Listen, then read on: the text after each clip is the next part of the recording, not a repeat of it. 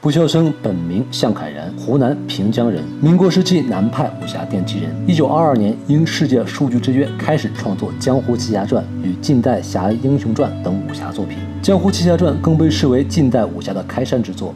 后与北派作家赵焕廷并称为南向北赵，对后世武侠影响深远。一九二八年，明星影片公司将《江湖奇侠传》的部分章节改编成了《火烧红莲寺》，搬上大银幕，一时间上海滩万人空巷。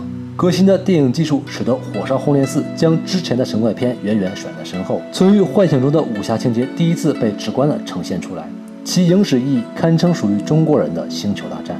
巨大的成功使《火烧红莲寺》在一九二八年到三一年接连推出了十七部续集，而从第二部开始就脱离了《江湖奇侠传》的框架。中国影史的第一次武侠神怪热因《火烧红莲寺》而引发，各大电影公司纷纷效仿，推出了各式火烧系列的神怪武侠。明星电影公司更是放出豪言，要将《火烧红莲寺》拍出整整三十六部。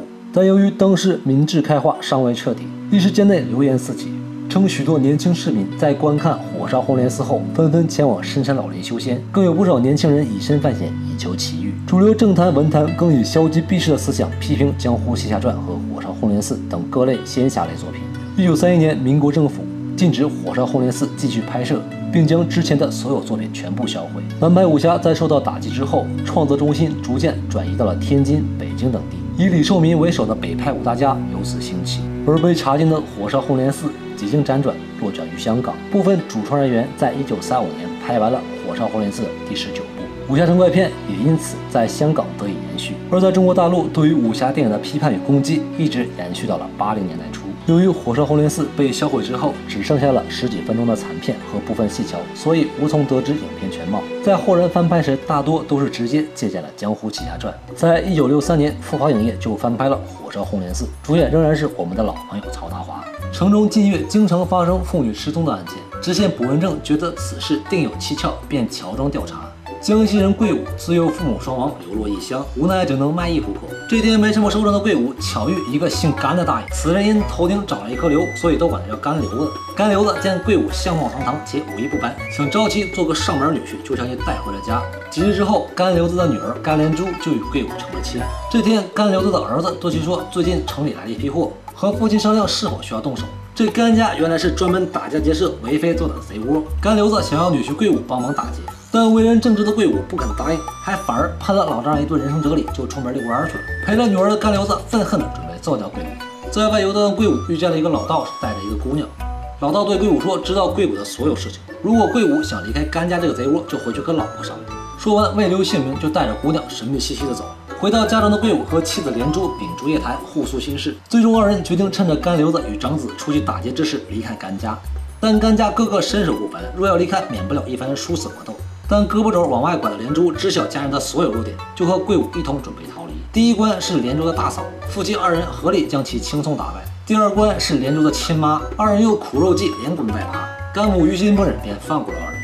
第三关是连珠的小妈，连珠知道小妈肩头上有疮，就猛攻击幻术将其击败。最后一关是连珠的奶奶，在二人无计可施之时，被一只麻鹰所救，趁机逃出了甘家。二人逃出之后，桂武之前遇见的姑娘前来迎接二人。姑娘名叫红姑，是昆仑派掌门人吕学良的关门弟子。红姑已经安排好要二人前往清虚观落脚。此时走在半路的甘流子心有异感，掐指一算，得知家中出事，匆忙回到家中，见母亲被打伤，女儿被拐跑，大怒之下使出飞剑追击二人。危难之际，清虚观的孝道人出手相救，击退了甘流子的飞剑。桂武夫叫二人随即拜孝道人为师，留在了清虚观。知县卜文正调查已有数月，这一天在红莲寺借宿之时，发现妇女失踪一事，竟是红莲寺住持所指使。僧人们将妇女拐走之后，囚禁在红莲寺的地牢之中，供自己发泄兽欲。红莲寺方丈抓住卜文正后，开始对其施以各种酷刑。